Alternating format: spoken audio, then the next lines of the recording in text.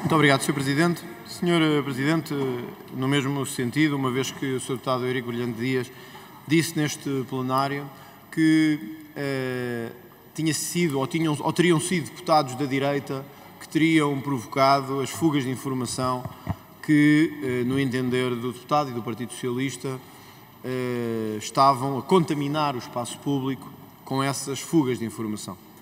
Hoje há um relatório que foi publicado com um trabalho conduzido pela Sra. Deputada eh, Alexandra Leitão, do Partido Socialista, que deixa claro que nem os deputados, nem os assessores, o apoio técnico, estiveram de maneira nenhuma envolvidos em fugas de informação da Comissão Parlamentar de Inquérito.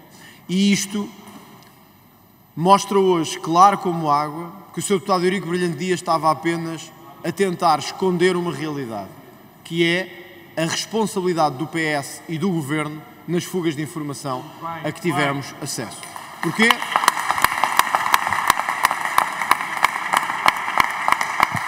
Porquê? Porque, Sr. Presidente, na verdade, a informação vinha ora do Governo, ora de uma empresa nacionalizada, com tutela do Governo. E, portanto, se não foram os deputados a fazer essa fuga, essa fuga terá vindo do próprio Governo ou do próprio Partido Socialista. E eu acho que é tempo, não só do Sr. Deputado Eurico Brilhante Dias, que o disse aqui no plenário, e é por isso que o fazemos aqui, Sr. Presidente, aqui neste plenário, porque foi aqui que o Sr. Deputado Eurico Brilhante Dias optou por fazer estas considerações, pedimos e exigimos ao Sr. Deputado Eurico Brilhante Dias um pedido de desculpa a todos os partidos da direita desta Câmara pelas acusações infundadas que fez, mas também porque foi confrontado com isso no próprio dia que retire consequências políticas internas do seu erro, do seu erro, da sua mentira e da difamação que fez e da difamação que fez aos partidos à sua uh, direita. Deveria ser assim e são essas explicações e essas consequências que pedimos, uma vez que há agora um relatório produzido por alguém do seu partido que desmente completamente aquilo que o seu deputado aqui disse. Muito obrigado.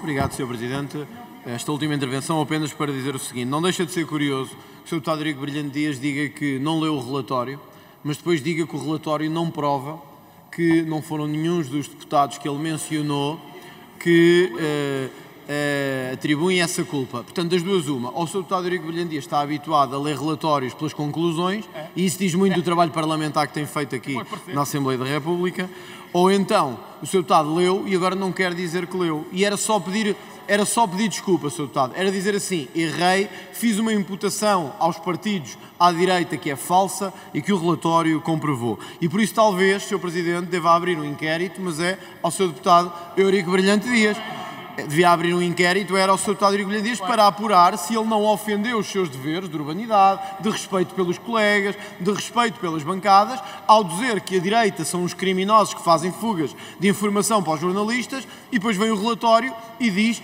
que afinal eh, não foi, não foi nada disso. Finalmente, eh, nós mantemos a mesma convicção, não é por nenhum populismo, Sr. Deputado Joaquim Miranda Sarmento, é por mera exclusão de partes, que é, se não foi a direita nem a esquerda, então só há um partido que podia ter interesse em desviar as atenções, que é o Partido Socialista e é o próprio Governo. E por isso interessou-lhes naquele dia deixar sair cá para fora uma informação que iria desviar de outras audições que estavam a decorrer e que pareciam ser de facto as mais importantes. Mas para a história, Sr. Presidente, para a história fica para a história, eu sei que isto para o Partido Socialista custa, para a história ficará, Sr. Presidente, recordo-me das suas palavras, em Portugal não há imputações de culpa coletivas, penso que foram as suas palavras, num dia em que eu discursava. Não me esquecerei das palavras do deputado Eurico Brilhante Dias, que disse: não, não se provou que foram eles, mas também não se provou que não foram eles. Lembremos-nos destas palavras Exatamente. para muitos debates futuros que vamos ter quando nós chamarmos os responsáveis deste país à colação.